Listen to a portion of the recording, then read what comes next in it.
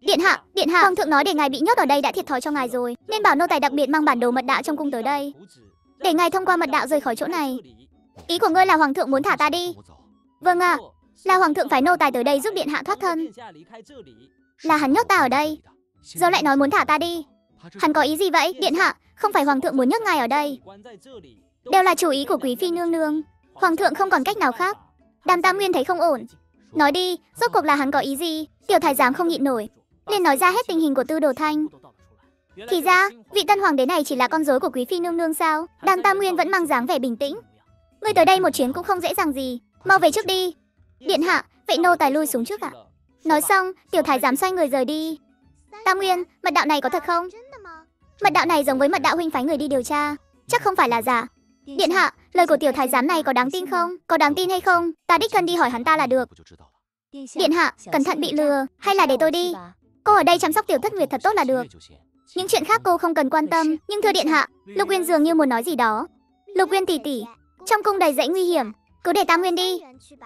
Mặc dù tiểu thái giám nói rất nhiều về tình hình của Tư Đồ Thanh, nhưng lại không hề nhắc đến thân thế của quý phi. Suy cho cùng, cho dù có nói ra thì người bình thường cũng sẽ không tin. Vì vậy tốt hơn hết vẫn nên để Đàm Tam Nguyên xuất đầu lộ diện. Lục Uyên tỷ tỷ, đừng lo, chúng ta ở đây đợi Tam Nguyên quay lại. Lục Uyên thấy tiểu thất nguyệt đã sắp xếp xong, cũng nhẹ nhõm hơn. Đêm khuya, Đàm Tam Nguyên một mình đến cung điện của Tư Đồ Thanh, không hề giống như những gì Lục Uyên nói. Sau khi Đàm Tam Nguyên ở trong điện khoảng một nén hương, liền quay về nơi ở của mình. Ngày hôm sau, Lý Quý Phi nghe tin Hoàng thượng sắp băng hà, vội vã tới cung điện. Hoàng thượng, lần này người thật sự không ổn rồi sao? Ta muốn gặp nương tử của ta. Lý Quý Phi cười khẩy. Đúng là người si tình. Tiếc là người không thể gặp Đại nương tử của người nữa. Nếu người đã không muốn sống, vậy ta sẽ cho người tọa nguyện. Cô muốn làm gì? Ta chỉ muốn một con rối. Hoàng thượng, nếu người đã không muốn làm một con rối sống, vậy ta sẽ biến người thành một con rối đã chết. Thật không ngờ yêu nữ như cô lại độc ác như vậy. Bỏ đi, nếu ta đã không thể gặp lại cô ấy. Vậy ngươi động thủ đi. Lý Quý Phi thấy bộ dạng của hắn liền vô cùng tức giận. Nhưng, thật lòng cô ta không muốn Từ Đồ thành chết sớm như vậy. Nương tử của ngươi đã bị ta nhốt ở nhà lao ở ngoại ông rồi. Từ Đồ Thanh đột nhiên mở mắt. Nương tử của ta chưa chết thật sao? Đương nhiên vẫn chưa chết, sao ta có thể bỏ qua? Một con tình có ích như vậy chứ? Từ Đồ Thanh vui mừng khôn xiết, bộ dạng ốm yếu lúc này cũng không còn nữa. Liền trực tiếp ngồi dậy. Lý Quý Phi bị hắn ta làm kinh ngạc. Ờ, không phải ngươi đang bị bệnh sao? Ta không chết. Không phải cô nên vui mừng à? Không đúng, thái y đều nói ngươi bị bệnh, hơn nữa ta đã đặt ám khí khắp căn phòng này. Sao ngươi có thể khỏe mạnh như vậy được? Tuy rằng cô ta không muốn Tư Đồ Thanh chết, cũng không tin bệnh của Tư Đồ Thanh lại nghiêm trọng như vậy, nhưng có ôn thần đàm tam nguyên trong cung, Tư Đồ Thanh lại không hề bị bệnh ư? Không thể nào, đúng là ta bị bệnh, nhưng tối qua có người đã đến cứu ta. Nhưng ngươi mong muốn, ta đã sống lại rồi. Là ai cứu ngươi? Đương nhiên là cậu ấy, cậu ấy ở sau lưng cô. Lý Quý Phi ngạc nhiên, quay đầu nhìn lại, thấy đàm tam nguyên một thần hắc y, lạnh lùng nhìn cô ta. Lý Quý Phi bị dọa một trận. Sao hắn ta lại tới đây? Không phải hắn đang bị nhốt trong cung sao? Ừ, đêm qua đoan vương điện hạ đã cứu ta, hôm nay đặc biệt đến thăm ta, có gì lạ đâu chứ? Lý Quý Phi đột nhiên hiểu ra, thì ra chuyện tư đồ thanh bệnh nặng chỉ là một cái bẫy, là bẫy của đàm tam nguyên muốn dụ cô ta ra ngoài. Hoàng thượng, nếu đoan vương điện hạ đã cứu bệ hạ, vậy thì chúng ta phải đối xử tốt với ngài ấy. Đương nhiên phải đối tốt rồi, cho nên ta mới nghĩ ra một ý hay. Tư đồ thanh đi ra phía sau đàm tam nguyên, lộ ra nụ cười rồi nói, đó là tặng cho cậu ấy một kẻ thù. Lý Quý Phi nghe xong rất tức giận. Người đàn ông trước mặt đã từng bị cô ta điều khiển. Giờ vậy mà lại hợp tác với kẻ thù đối phó cô ta. Nếu đã như vậy, ta cũng không giả vờ nữa. Hai người các ngươi làm ra trò này, không phải muốn mạng của ta sao? Vậy được, hôm nay ta muốn xem xem. Hai người phàm các ngươi có thể làm gì ta? Đàm Tam Nguyên lạnh lùng nhìn cô ta. Hừ, đừng phí công vô ích nữa. Lần này cô đừng mơ sẽ chạy thoát. Giờ cô ta không những không thể chạy thoát, đến một chút pháp lực cũng không còn nữa. Chỉ giống như một người phàm bình thường mà thôi. Chuyện này là thế nào? Sao có thể như vậy được? Tại sao ta không thể cử động? Cung điện này đã dán đầy bùa chú để đối phó cô. Dù có cố gắng thế nào cũng vô ích thôi. Lúc này, liều sư phụ đột nhiên bước ra ngoài.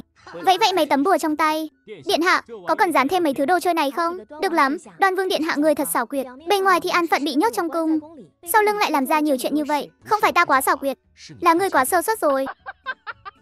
Ha ha ha, đúng vậy, là ta quá sơ suất. Ta cho rằng người đã trở thành phàm nhân, có thể mặc ta khống chế. Không ngờ các ngươi còn có bản lĩnh như vậy. Đàm Tam Nguyên không nhiều lời với cô ta nữa, trực tiếp lấy ra một thanh trường kiếm ném cho Tư Đồ Thanh. Đoan Vương điện hạ, thế này là, so với tôi, huynh càng muốn xử lý cô ta hơn. Đoan Vương điện hạ, ta trước nay vẫn luôn không ra tay với người khác, chỉ là một yêu nữ thôi, không tính là gì. Ly Quý phi tức giận nhìn Đàm Tam Nguyên đang chuẩn bị rời đi. Tiên Hoài Tần, ngươi quay lại đây cho ta, ngươi không thể đối xử với ta như thế được. Ngươi mau quay lại đây. Đàm Tam Nguyên dường như không nghe thấy, trực tiếp rời khỏi cung điện. Tư Đồ Thanh, một ngày vợ chồng nghĩa trăm năm, huynh quên chúng ta đã ở bên nhau thế nào rồi sao? Lúc này, cô ta đã không còn bộ dạng kiêu ngạo, đứng trước mặt Tư Đồ Thanh nữa, Thế rồi kết thúc bằng một tiếng hét đầy oán giận và bất lực từ trong phòng truyền ra. Lục Uyên cầu nương là ta. Bát điện hạ, ngài có chuyện gì sao? Đại ca ta giờ đang rất phẫn nộ. Cô đừng nên đi thì hơn. Đại ca của ngài hình như rất hận quý phi nương nương. Cô ta hại phu thê huynh ấy ly tán, đương nhiên là phải hận. Nhưng thật may đại tàu của ta vẫn chưa chết. Nếu không đại ca sẽ phát điên mất. Thế đại tàu của ngài giờ đang ở đâu? Lý quý phi nói với đại ca ta, cô ta nhốt đại tàu ở nhà giam vùng ngoại ông. Cô yên tâm, vừa rồi ta đã phái người đi rồi. Thì ra mọi người đã sớm bàn bạc xong rồi. Hi hi, đây là chủ ý của đoan vương điện hạ.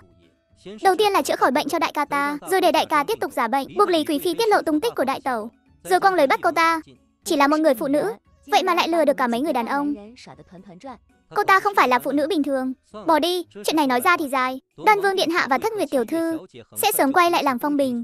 Cô cũng phải quay về ư? Đương nhiên tôi cũng phải quay về. Lục Uyên cô nương, ta có một thỉnh cầu. Cô có thể ở lại không? Tôi ở lại đây sao? Ở lại làm gì chứ? À, ở lại gả cho ta. Lục Uyên ngạc nhiên trước lời cầu hôn đột ngột đó. Bát điện hạ, chúng ta chỉ mới có duyên gặp nhau vài lần. Ngài đột nhiên nói muốn lấy tôi thế này, có phải là quá đường đột rồi không? Lục Uyên không phải là người nhút nhát, thế nên có lời gì đều nói thẳng ra. Ta nghiêm túc đấy. Từ lần đầu tiên nhìn thấy muội, ta đã yêu muội rồi. Ta biết muội không nỡ xa đàm thất nguyệt và đoan vương điện hạ.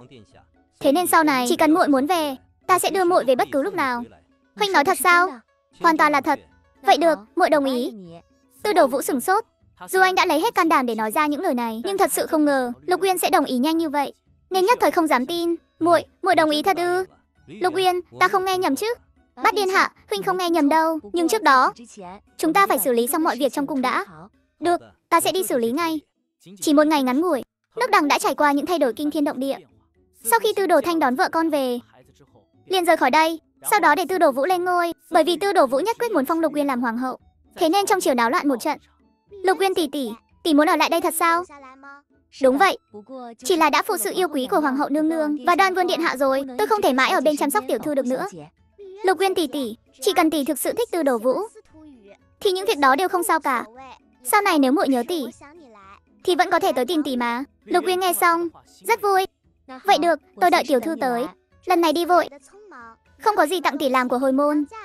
Nếu tỷ không chê, thì nhận lấy chiếc châm cài này nhé. Lục Uyên nhận lấy, cầm nó tổng tay như kho báu. Đa tạ thất nguyệt tiểu thư. Được rồi, vậy muội đi nhé. Lục Uyên tỷ tỷ, bảo trọng. Bảo trọng, ba đam thấy họ về tới cửa. Vui mừng đến sắp bật khóc. Kéo tiểu thất nguyệt. Tới hỏi liên tục vài câu, mãi cho đến khi tiểu thất nguyệt đem chuyện xảy ra ở đằng quốc. Kể lại một lượt mới thôi, đàm nhị tiền nghe xong vô cùng kinh ngạc. Nếu tư đồ vũ đã là đằng đế, vậy không phải tiệm dưa muối của chúng ta có thể tiếp tục sao? Nhị ca, đương nhiên có thể tiếp tục rồi ạ. Đàm nhị tiền vui mừng khôn xiết. Chúng ta mau mau xây xong tiệm dưa muối thôi. Đợi làm xong, lo lửa, là có thể làm thật nhiều dưa muối rồi. Được, mẹ đi ngay đây. Tư đồ vũ lần này lên ngôi, lại cưới cung nữ đại ngụy. Đương nhiên sẽ càng thân thiết hơn với đại ngụy. Đàm nhị tiền đã có dự cảm, rất nhiều tiền sẽ rơi vào túi mình. Nên kích động đến nỗi chằn chọc suốt nhiều đêm. Lần này tiệm dưa muối mới được xây gần ruộng rau. Từ nhà họ đàm đi tới đó còn phải đi qua mấy con đường núi. Nhưng cũng không quá xa. Tiểu thất nguyệt vừa đi được vài bước. Đột nhiên nghe thấy phía sau có người gọi mình, đàm thất tiểu thư. Cô nhanh chóng nhìn về phía sau, liền nhìn thấy một người phụ nữ lớn tuổi. Tỷ tỷ, tỷ là Thất Nguyệt tiểu thư. Tôi là Tiểu Cúc, nha hoàn của nhà họ Trang ở huyện Bình Dương. Tỷ là nha hoàn nhà tứ tổ sao? Sao đột nhiên lại tới nhà muội? Thất Nguyệt tiểu thư, cha mẹ cô đâu rồi à? Cô mau đi nói với họ, Vãn Điệp tiểu thư xảy ra chuyện rồi. Tứ tổ xảy ra chuyện gì thế? Thất Nguyệt tiểu thư, hôm nay Vãn Điệp tiểu thư ra ngoài cùng phu nhân nhà chúng tôi, không cẩn thận bị một chiếc xe ngựa đâm phải. Em là không giữ nổi đứa trẻ. Cái gì? Tiểu Thất người quay lại nói với Đàm Tam Nguyên. Tam Nguyên, huynh đi bảo với cha mẹ. Giờ muội sẽ đi cùng vị tỷ tỷ này tới chỗ tứ tẩu. Vậy được, hai người ngồi xe ngựa của huynh sẽ nhanh hơn đấy. Tỷ tỷ, tỷ đưa muội đến chỗ tứ tẩu trước. Tam ca của muội đợi lát nữa sẽ dẫn cha mẹ muội đi. Tôi biết rồi, thưa thất nguyệt tiểu thư.